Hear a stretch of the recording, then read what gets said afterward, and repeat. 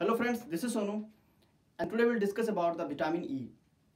As we know that the vitamin E also belong to the fat soluble, the four vitamins belong to the fat soluble A, D, E and K.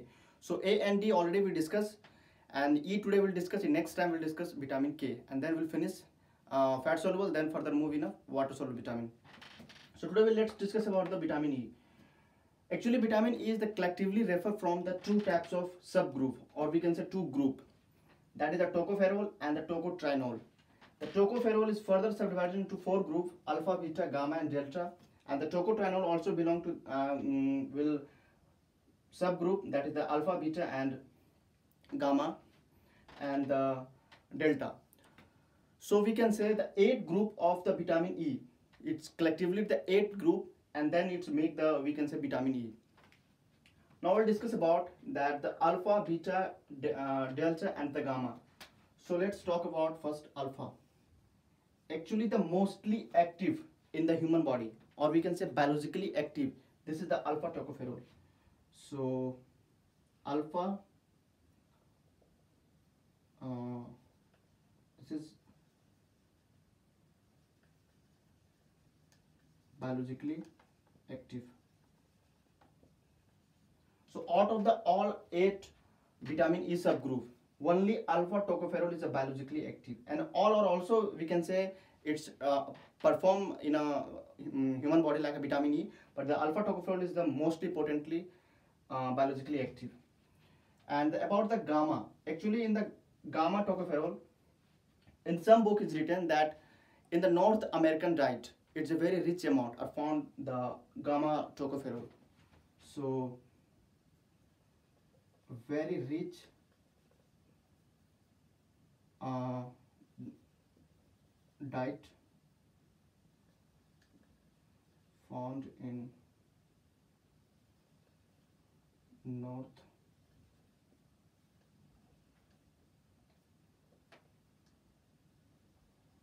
North American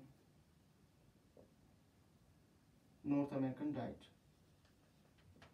Maybe in some question ask that the uh, out of the all tocopherol, which types of subgroup of the tocopherol is found in the North American diet. So on the time, just you have to remember that the gamma is very rich found in the North American diet. This is not for the we can say in a clinical purpose, but for you um, for the remembering and maybe in some question they have, they will ask. That's why just you have to remember. So let's forward this and let's uh, concentrate on the alpha tocopherol because this is the active or we can say biologically active vitamin E. And uh, now we'll discuss about that how it's perform the function. This is the we can say chemical structure. Actually tocopherol we can say that is the derivative of 6 hydroxychromane ring. So let's write here that according to the chemistry 6 hydroxychromane ring chromane ring and due to the chromane ring it's have very potent antioxidant properties due to this ring. So that's why this also uh, important information that we have to know. So now let's uh, discuss about the first function that how perform the function in the body. Because as we know that the vitamin E is the very uh, we can say very useful vitamin or very oftenly used in in daily life so first function, the very potent antioxidant and anti-sterility. Anti-sterility means we can understand that it's prevent to the infertility. So that's why anti-sterility properties. Due to having the antioxidant properties, the all functions are depend on the antioxidant properties. If they lose the or we lack the antioxidant properties, the all function become inhibited or all all function will very slowly work. So antioxidant properties. Next due to the antioxidant properties it's stabilize the free radical and reaction uh, reactant oxygen species. How? Let's talk about first of all the free radical. What is the free radical? So briefly we'll talk about free radical. Free radical or we can say reactive oxygen species. Free radical.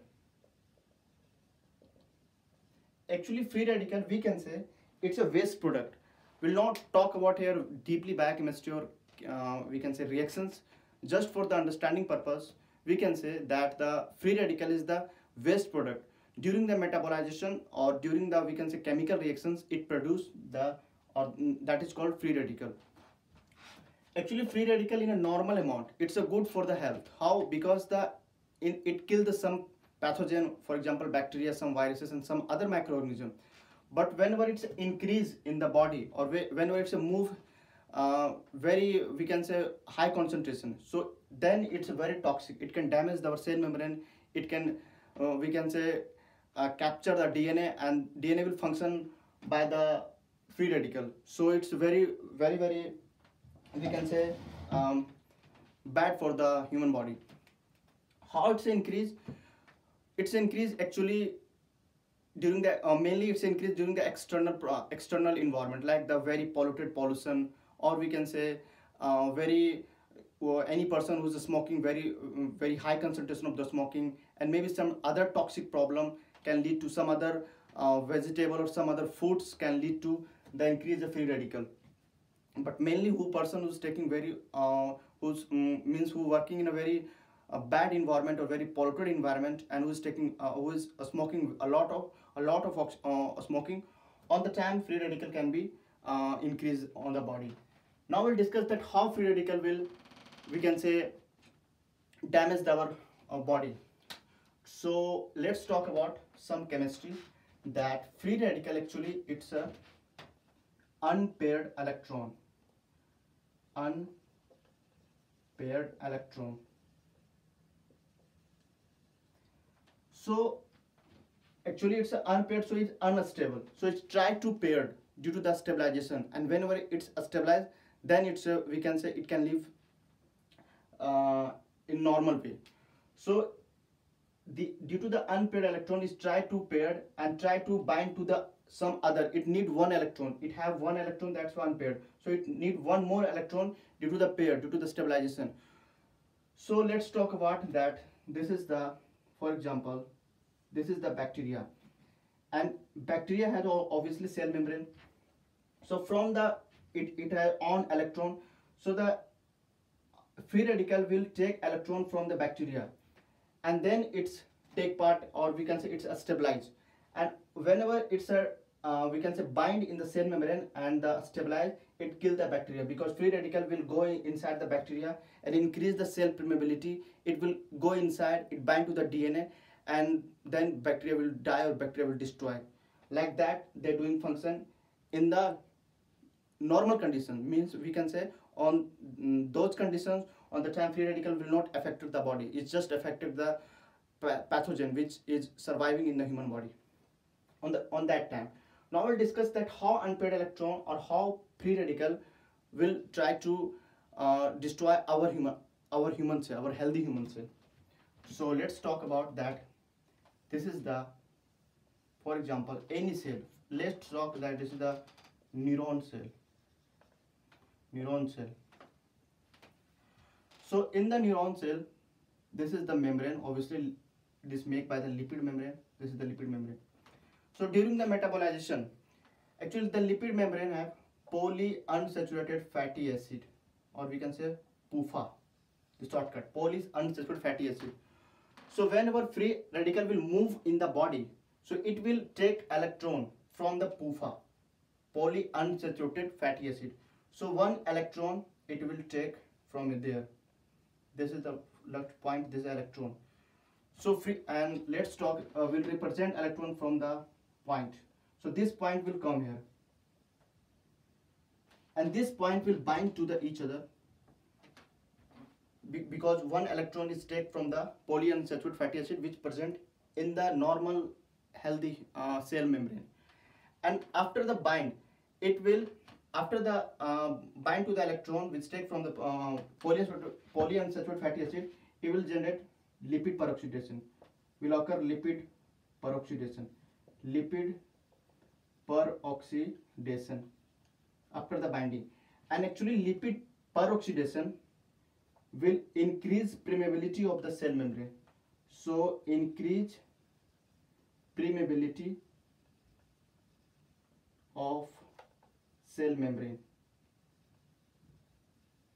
Cell membrane. And after the increased permeability of the cell membrane the free radical can easily to go inside the cell due to the increase the permeability. And after that it bind to the DNA and now the DNA under the free radical. DNA will not uh, create the function by the uh, normal function. Means it have to maintain the cell membrane it have to maintain the uh, synthesize or uh, we can say replicate. Now it's performed by the free radical. Whatever want the free radical they can handle by the own self because it's now it's caught all the cell membrane under the free radical. And now this types of uh, now this types of is start to damaging the cell cell membrane of the neuron cell so just i give the example of the neuron cell it uh, the free radical can be damaged all types of cell by the, this mechanism so that's why this is the very we can say toxic molecule or toxic element that it should be caught by the vitamin E or antioxidant. So now we'll understand that how vitamin E is the very important for the our body.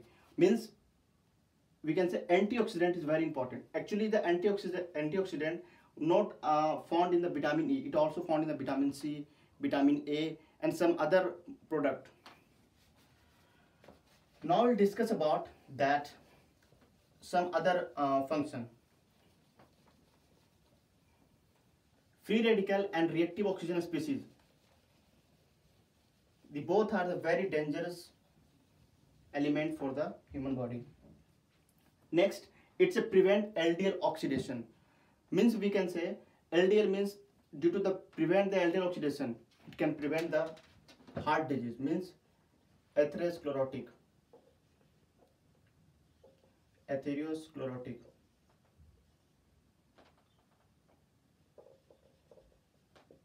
uh, sclerosis let's talk uh, atherosclerotic Athero, uh, uh, atherosclerotic what is this this is the we can say during the uh, LDL increase the low density lipoprotein and it, can plaque the that this is the arteries and its vessels it plaque the there and due to formation of the plaque the blood circulation will decrease so vitamin E means the antioxidant will this fat will uh, we can say take and restore in the liver.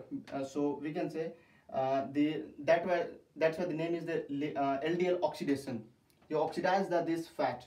So those persons suffering from heart disease means who suffering from ather atherosclerosis, coronary heart disease, that is a very popular disease in all over world. So those persons can also prevent if they're taking normal amount of the vitamin E or in a healthy person like like healthy persons whose normal amount of taking vitamin E 40% will decrease the heart rates uh, heart diseases due to the uh, this uh, functions. Next it's a participate in the heme synthesis. So we can say it's very important vitamins during the um, we can say in a pregnant lady because it's a, a take part in the heme synthesis. And in some also in a uh, older um, i mean um, old ages. The next it's a also help in the skin glow. That's why this vitamin also we can say that is the beauty vitamin because in the skin glow it's a lot of function in the skin glow along with the vitamin e also.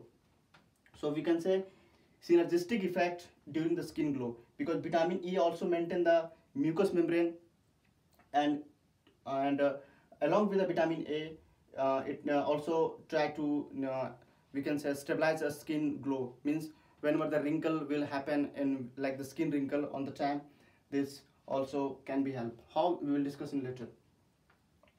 It's protect the lipid uh, protect the lipid membrane. How it's protect already i discussed that in the lipid area the antioxidant will go on the free radical and it will give the on electron. So for example this is the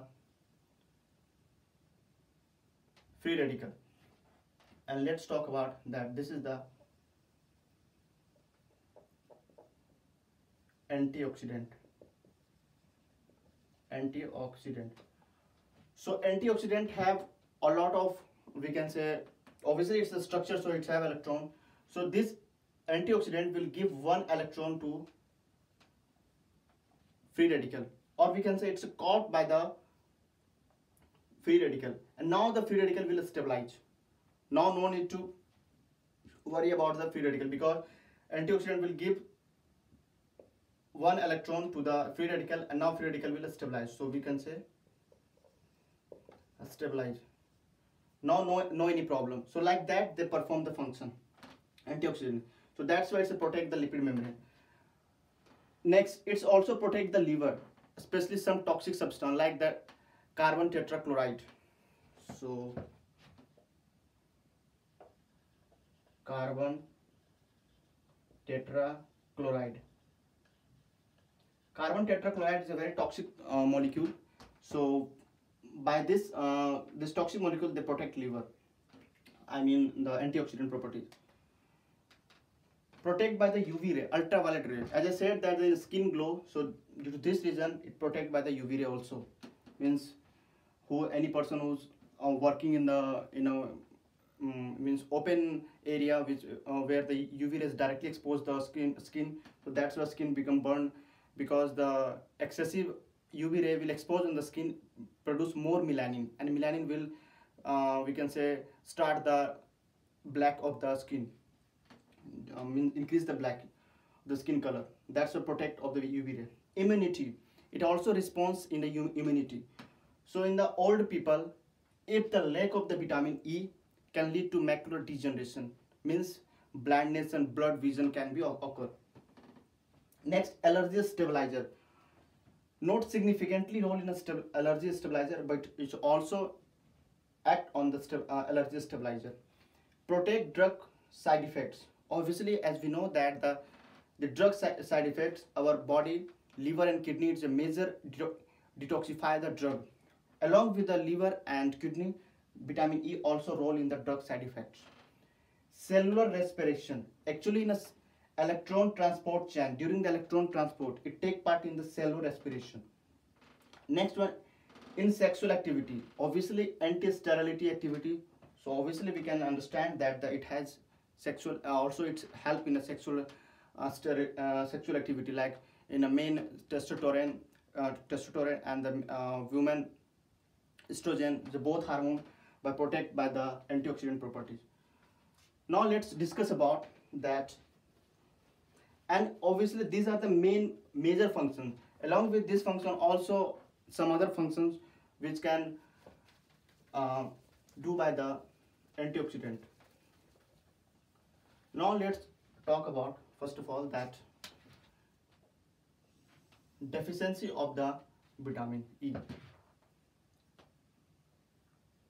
uh, already I said that antioxidant also obviously vitamin E have very potent antioxidant properties but vitamin C vitamin A and some other compound. If you talk about the particular vitamin so vitamin C and vitamin A also have antioxidant properties. So we can say if the person will taking vitamin E along with the vitamin C or vitamin A so synergistic effect can be occur.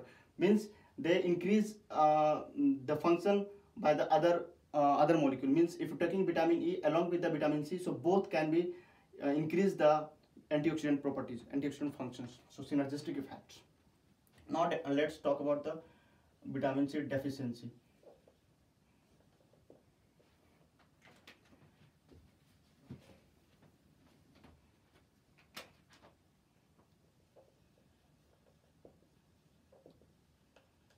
Deficiency.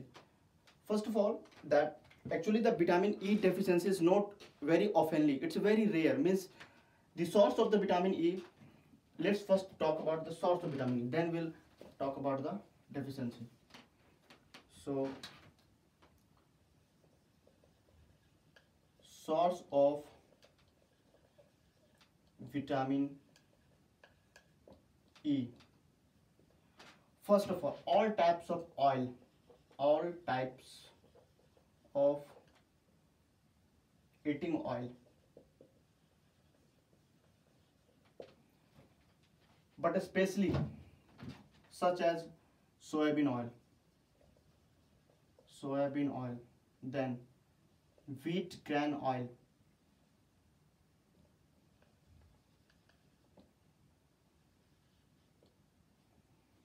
So we can say that all types of oil is found vitamin E.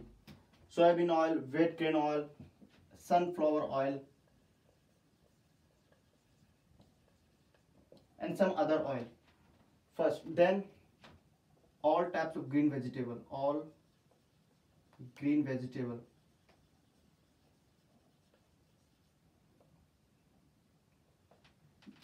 All types of green vegetable like broccoli and uh, cauliflower, green uh, green cauliflower, and some other means we can say all aggregately or co- collectively the all green vegetables has vitamin E as well as some other vitamins obviously, but vitamin E also rich amount in the all green vegetable. Then egg yolk, milk. If you talk about the animal sources, so not a rich amount the animal sources, but in a horse liver, horse liver and cattle, very very rich amount of the vitamin E. But as we know that the horse meat is not eating a mm, lot of person, very few person can be eat the horse liver uh, meat. That's why the major source of the uh, vitamin E will take the we can say uh, we can take the normally that is the this oil and uh, uh, green vegetable yolk elk and some other uh, sources. So that's why we can say that this types of vegetable or this types of vitamin source we will eating every day. Means without oil we can't cook the any food. That's why by the um, uh, oil vitamin e is already taking in every day. That's why the deficiency of the vitamin e is very very rare. Because these types of uh, food will eat in a daily way in a daily because uh, without green vegetable without uh, oil we cannot make the cook. We cannot uh, uh, we can say eat. That's why vitamin e is not uh, we can say uh, major problem or major deficiency. But in some conditions means in some problem some other problem can lead to the vitamin e deficiency. How? Let's talk about uh, these are the uh, main source of the uh, vitamin E. Uh, along with this one, also a lot of source can be it uh, take from the vitamin E. Deficiency. Deficiency. First of all, deficiency. Which types of other deficiency can lead to the vitamin E? As we know that the vitamin E is a fat soluble vitamin. So first problem that cystic fibrosis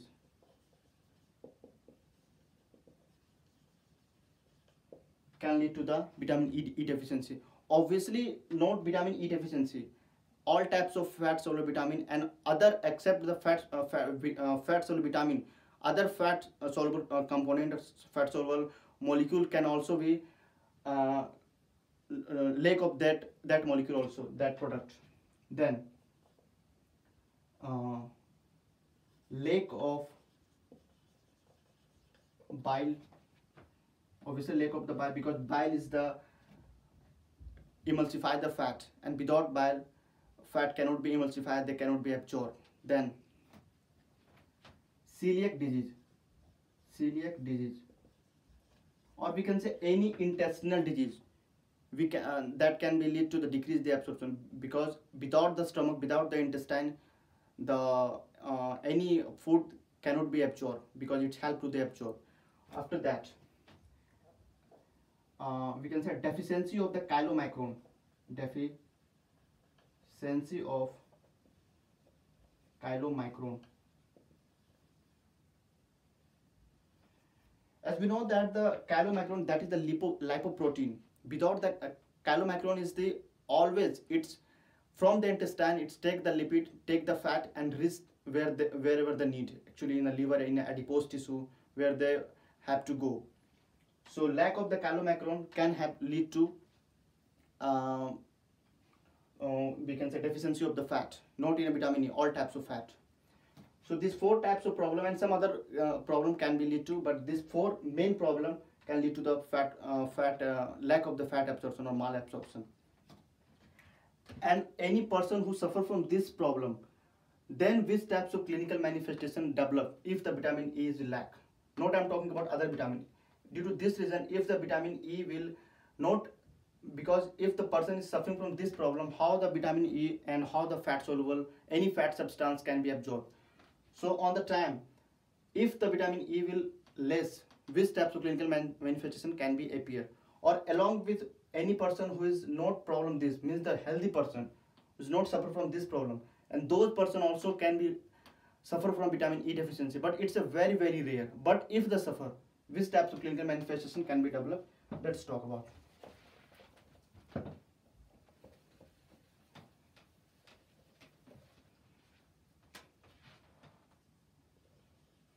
clinical manifestation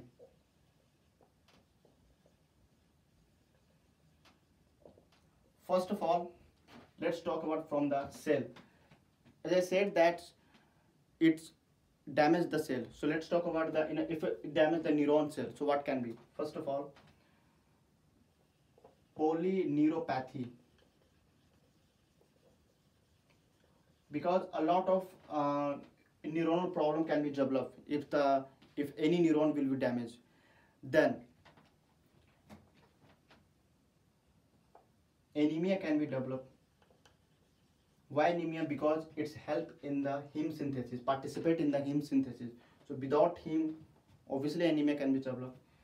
Then hemolytic hemolysis can be happen. Hemolysis can be occur. Why hemolysis? Because in the cell in the rbc cell red blood cell in the outer upper layer that is the lipid bi uh, lipid um, with, uh, make by the lipid bilayer lipid membrane. So the free radical can be destroy the lipid bilayer and uh, to this then hemolysis can be occur. Uh, anemia actually during the pregnancy. During the pregnancy it's very neat. Then a sterility can be happen. Sterility. Sterility or we can say infertility. After that increase the heart disease.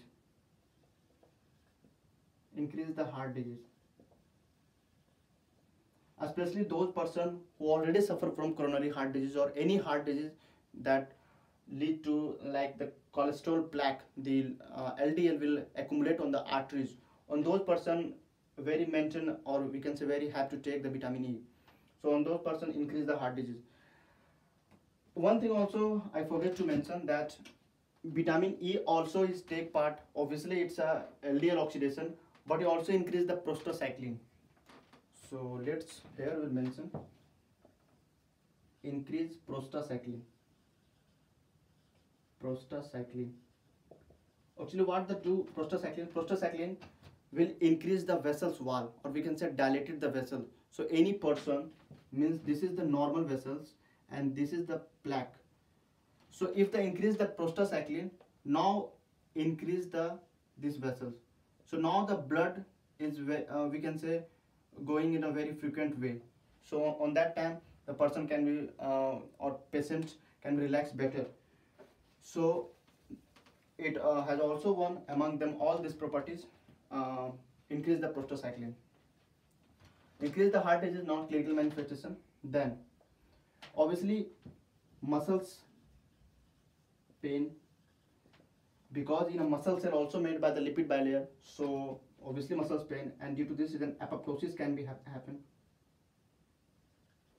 Apoptosis and in a very high lipid uh, I mean free radical can lead to necrotic. But these are the very rare very very rare. Rare. After that nausea vomiting that is the normal. Nausea vomiting but in due to the hemolysis due to the uh, hypovolemic shock because the bleeding is going on.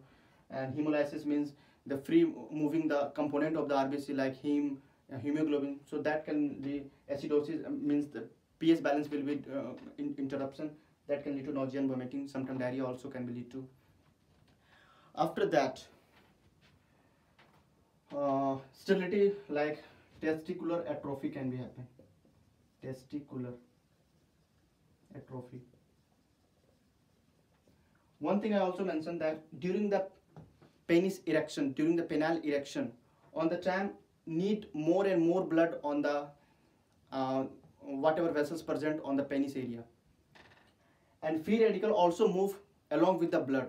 So on the time, the vitamin E or antioxidant will go and caught the free radical. That's why we can say during the testicular, that's why testicular atrophy uh, mm, will occur or uh, the during the penile erection it can damage the muscles or muscle cell of the penis or um, uh, any uh, we can say genital organs that's why the vitamin e or antioxidant very important in the sexual activity. So these are the main clinical manifestation can be occur and uh, some other problem like the bone weakness this obviously this problem can be um, occur uh, whenever the vitamin E will increase I mean decrease. So these are the main clinical manifestation. But I also said that these are the normally very rare.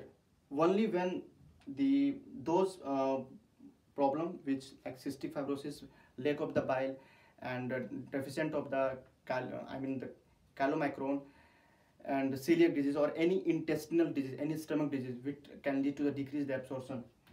Those problem can lead to this types of clinical manifestation.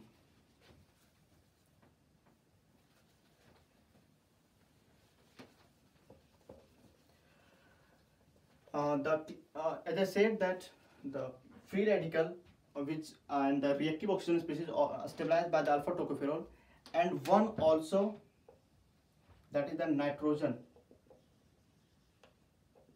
Nitrogen reactive uh, species. Or we can say NO NRS this is one of the other element other uh, we can say molecule that is present uh, that can if increase this uh, this uh, nitrogen uh, reactive species that can lead to the stomach cancer which present in the stomach mucosa so actually this element will caught by gamma tocopherol. Gamma tocopherol mainly means the nitrosamine stress will created will happen and will lead to the stomach cancer. So gamma tocopherol also take part and this caught with this uh, element. Now we'll discuss about the the normal amount normal dietary chart so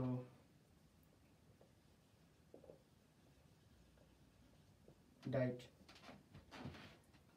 for infant 4 to 6 mg per day. And uh, 4 to 6 mg uh, per day or we can say for the child 6 to 8 mg a day. For adult person approximately 15 mg per day. But if we, if we talk about the normal daily consumption daily amount approximately 10 to 12 mg a day. This value is not uh, we can say exactly matter because in some uh, author in some books have given different different types of value. Maybe some books is written 5 to 8 5 to 6 but these are the approximately that have to take the person so these all information already i said that this uh, all types of uh, problem and all types of functions of the vitamin E.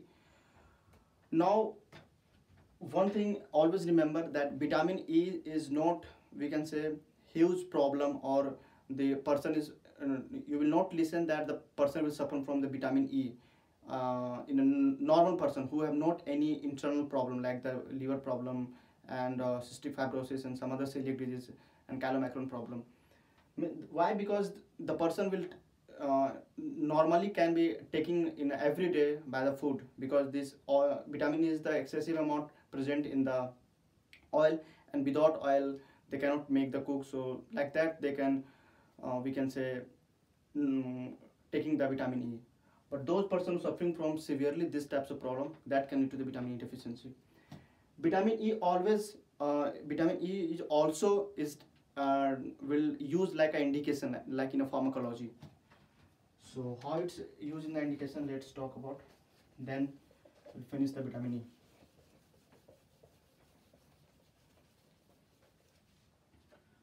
So in psoriasis. Psoriasis can be used vitamin E like in a lotion lotion form in acne or in skin scar skin scar or maybe surgical scare. Very helpful for the skin glowing then in a stretch mark in the after the after the post pregnancy uh, pregnant. Stretch mark. Stretch mark means after the pregnant, uh, pregnancy that lady have uh, lower part of the uh, abdomen scratch uh, stretch mark. So uh, we can say treatment of the vitamin E or antioxidant is helpful.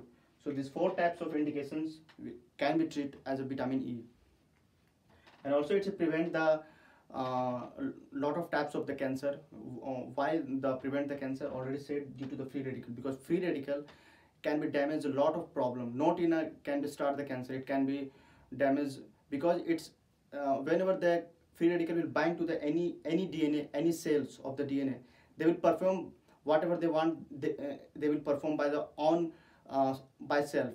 So the normal function will they, that cell will not perform and they will start the lot of problem. So these all types of these all information about the vitamin E that uh, we should know.